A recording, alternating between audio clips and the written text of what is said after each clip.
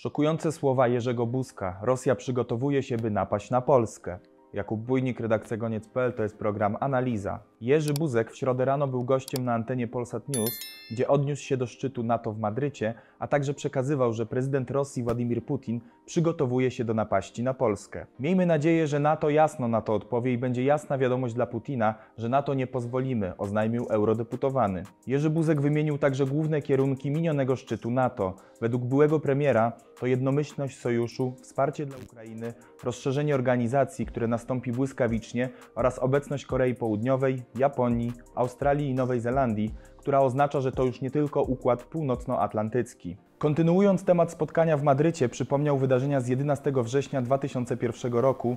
Następnie wskazał, że wówczas wydawało się, że NATO przestaje mieć znaczenie. Dziś jednak były premier ocenia sojusz północnoatlantycki zupełnie inaczej. 20 lat temu po dramatycznym ataku na wieżę w Nowym Jorku wydawało się, że NATO przestaje mieć znaczenie, bo człowiek z plecakiem czy z materiałem wybuchowym może wysadzić w powietrze wiele obiektów i nie jest kontrolowany przez NATO. Dzisiaj NATO wraca w pełnym wymiarze, powiedział Buzek. Eurodeputowany dodał także, że obecnie trwa historyczna zmiana roli i przyszłości NATO. Następnie Jerzy Buzek został zapytany o ewentualne odcięcie Europy od rosyjskiego gazu. Europa ma dość gazu ziemnego na swoim kontynencie, bo przede wszystkim w Hiszpanii i Portugalii mają grubo za dużo gazu w porównaniu do tego, co potrzebują.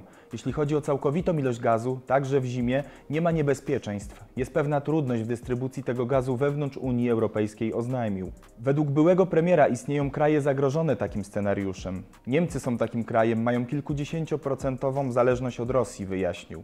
Jak twierdzi Jerzy Buzek, taka sytuacja nie stanowiłaby ogromnego zagrożenia dla Polski, ponieważ jesteśmy w stosunkowo dobrej sytuacji, mamy niemal wypełnione magazyny.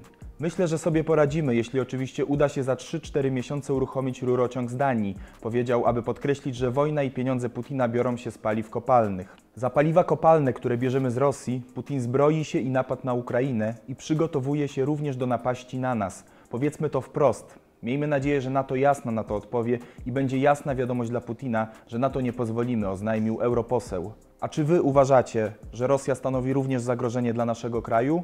Podzielcie się z nami swoimi opiniami w komentarzach. W mediach, jak w każdym sporze, sukces opiera się na faktach. Subskrybujcie nas, aby zawsze wygrywać. Jakub Bujnik, redakcja Goniec.pl to był program Analiza.